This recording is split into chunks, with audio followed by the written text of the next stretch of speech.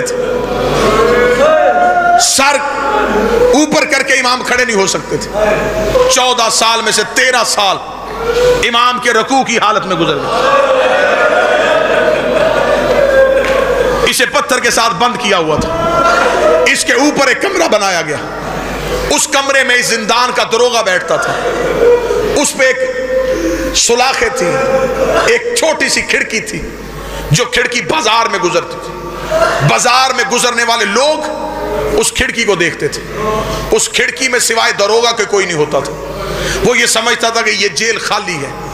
यहाँ कोई कैदी नहीं। लेकिन उसके अंदर कुएँ में इमाम को कैद किया हुआ था। दरोगा वहाँ बैठता था। तेरह साल गुजर गए। चौबीस रजब के करीब वाले दिन आए। उसी बगदाद के बाज़ार से एक अयूब नामी शख्स गुजरा। जो ही वो खिड़की के करीब से गुजरा। उसे देखा कि इस जिंदान का दरोगा रो रहा उसे रोता हुआ जिंदान का दरोगा देखा। वो रुक गया।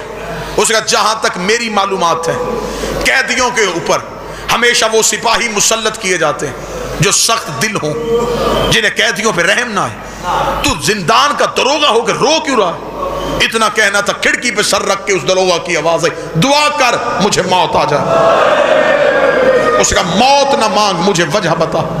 हुआ क्या है? उसने कहा, इस जिंदान में एक कैदी है। तेरह साल हो गए हैं, मुझे उस पर पहरा देते हुए। ये मुझसे कुछ नहीं माँगता।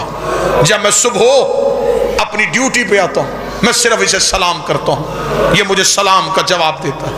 सारा दिन इसके जिंदान से मुझे तस्वीर की आवाज़ के अलावा कुछ नहीं सुनता। तो उसने कहा, फिर रो किस बात पे रहा है उसने कहा, तेरह साल के बाद इसने पहली बार मुझसे बात की है। उस बात ने मेरा जिगर फाड़ दिया है। अल्लाह जाने में जलालपुर में जुमला पढ़ूँ, तुम बर्दाश्त कैसे करो?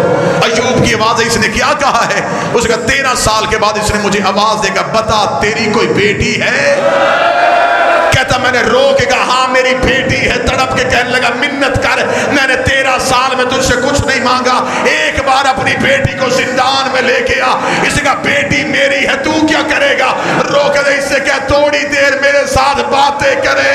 मैं अपनी बेटियों से मिलने को तरस के